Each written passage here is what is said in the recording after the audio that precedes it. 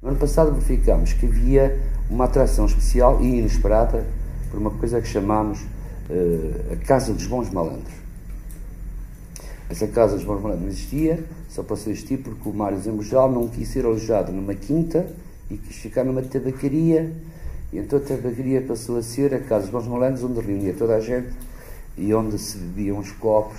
Este ano o que nós pensámos fazer foi, até porque no passado a oferta não era muito grande, também temos um fólio tardio, que não havia no ano passado.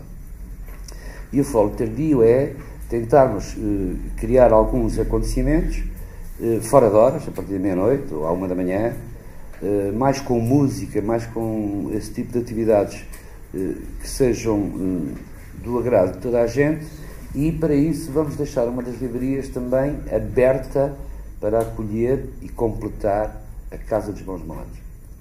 Temos uma zona de vinhos, com, com os vinhos de Alenquer, temos uma zona de alimentação, vamos ter uma ambulância para quem se sentir mal e precisar de uma receita de um livro, vamos ter lá a biblioterapia, nós convidamos as duas autoras de, de Novel Cure, que em português foi traduzido para remédios literários.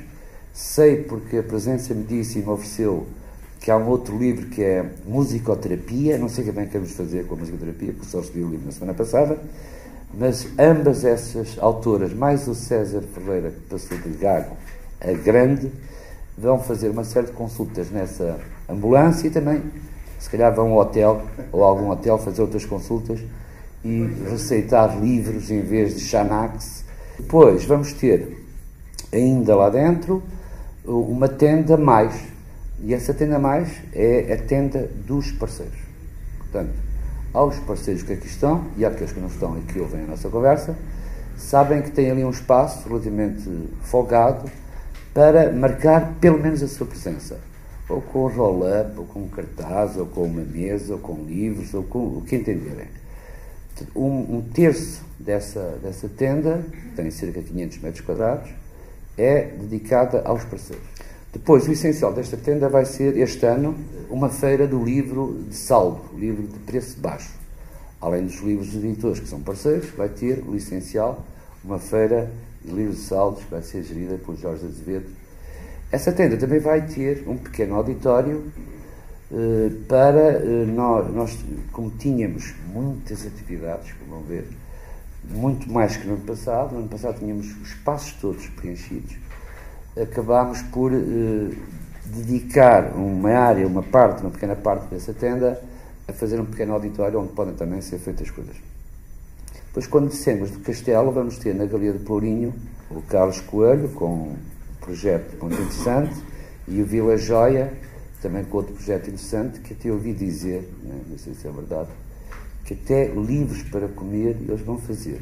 Outra novidade que nós temos na Praça de Santa Maria, entre a tenda e o Museu Abílio, é a primeira feira do livro raro e antigo de instrução e cultura, acho que chama assim. Portanto, é uma feira de livros especiais caros, só há livros caros, mas são livros raros e antigos, livros que sempre foram como hoje, a maior parte dos livros de hoje, naquela altura muito mais, de instrução e cultura.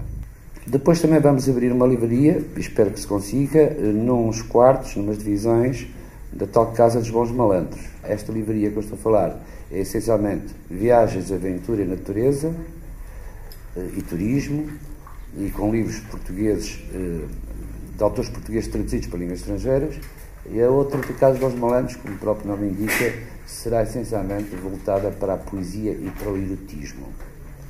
E ainda mais fora, naquela praça de criatividade que onde está aquela escultura de Zé Aurélio, nós vamos fazer um labirinto, um labirinto de livros para uh, trocar.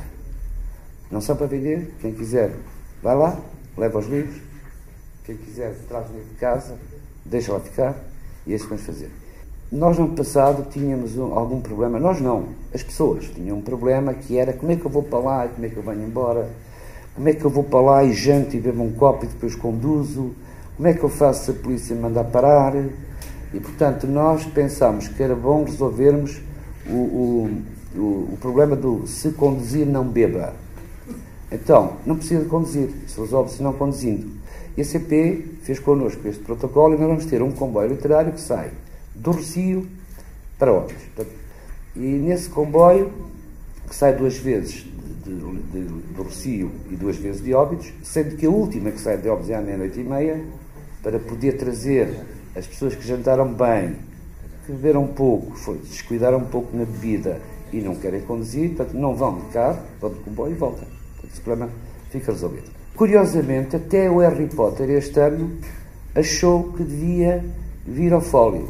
A nova edição portuguesa do próximo livro do Harry Potter e a Criança Amaldiçoada coincide com um dos dias do fólio e nós vamos fazer uma venda desse livro na Livraria Santiago, na estação dos comboios e dentro do comboio.